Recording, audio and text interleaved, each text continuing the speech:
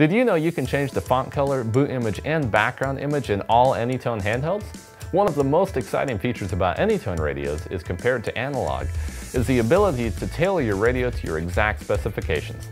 Hi, I'm Cody, W3AMG. Today, I'll navigate you through the screen customization settings for your AnyTone HT.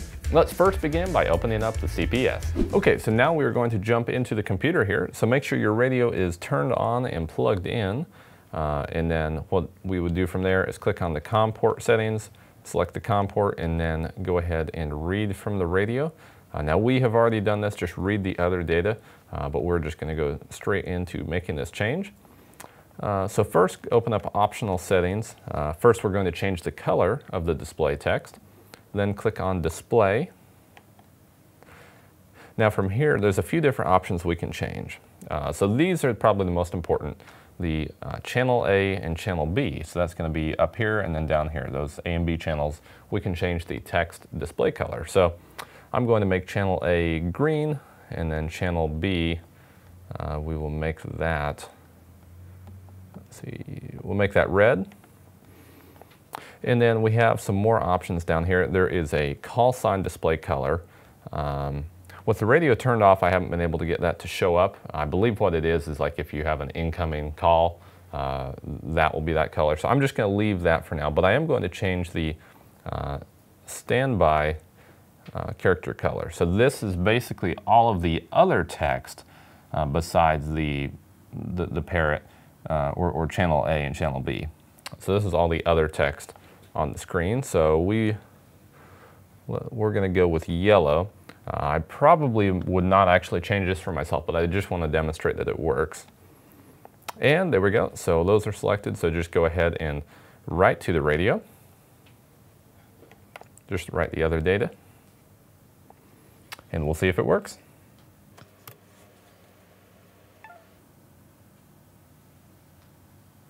And there we go, check that out. So we have our green, red, and then yellow text. Uh, like I said, I probably wouldn't change that other text, uh, but you certainly can. So you can customize just about all of the text on this, this, display, which is pretty neat. But there's actually a lot more you can do. You can change the images too. So we are going to do that next. First, we have to actually add the images. So let me explain how that works. Uh, so if we go to our computer, open up the file system here.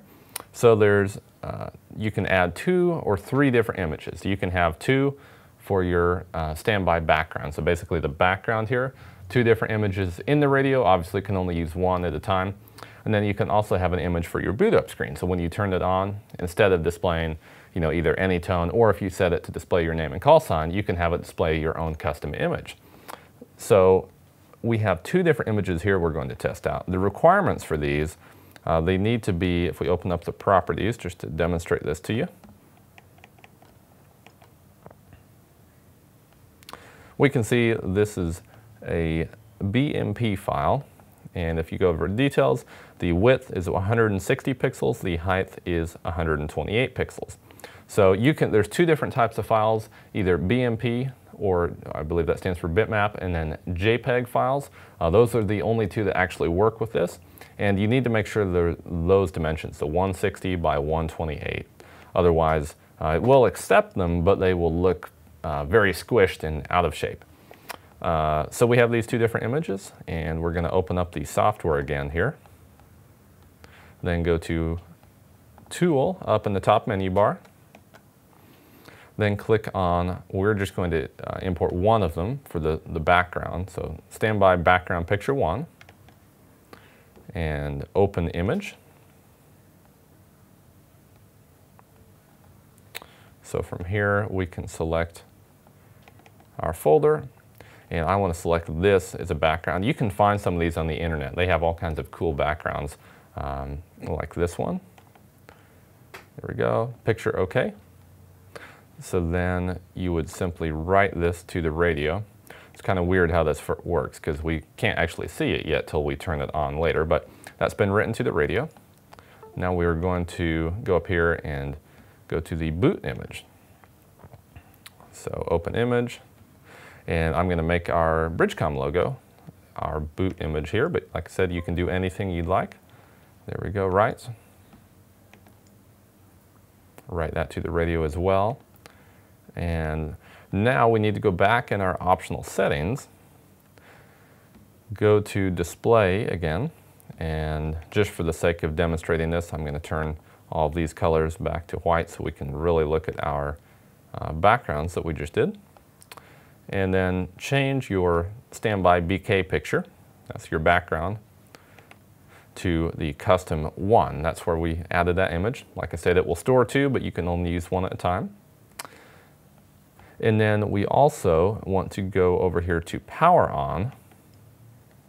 I know they put this in two different places. And then change from custom char or custom character to custom picture. Then go ahead and say OK. And then we're going to write this to the radio again.